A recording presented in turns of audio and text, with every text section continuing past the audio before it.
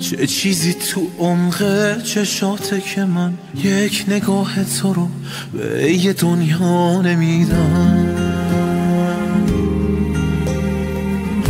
که بعد از تماشای چشمای تو از زمین و زمان عاشقانه بریدم.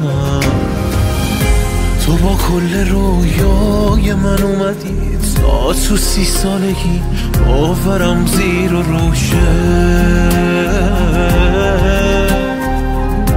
که زیباترین خط شرای من از تماشای چشم تو هر شب شروع شه اومدی تا بره فصل دیوونگی شدی آرامشه کل این زندگی. با تو هر سال